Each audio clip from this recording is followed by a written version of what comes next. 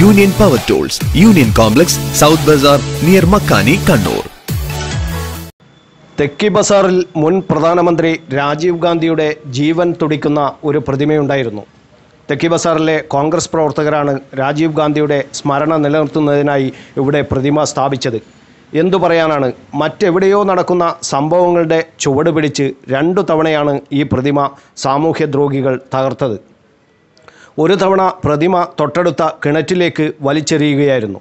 പ്രതിമ പുനഃസ്ഥാപിക്കും വീണ്ടും തകർക്കപ്പെടും. രണ്ട് തവണ തകർത്തിട്ടും തെക്കി ബസാറിലെ കോൺഗ്രസ് പ്രവർത്തകർക്ക് തങ്ങളുടെ പ്രിയ നേതാവിനെ അങ്ങനെ അങ്ങ് മറക്കാൻ പറ്റില്ല. അവർ വീണ്ടും പ്രതിമയുണ്ടാക്കി സ്ഥാപിച്ചിരിക്കുകയാണ്.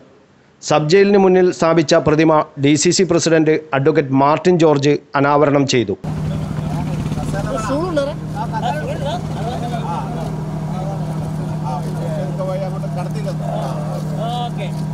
പുഷ്പാർച്ചന.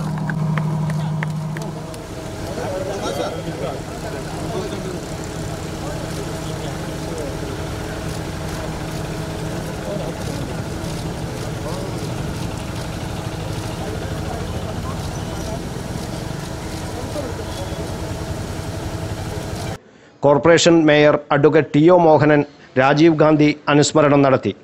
വിദ്യാഭ്യാസ standing committee chairman Suresh Babu Elayavoor അധ്യക്ഷത വഹിച്ചു.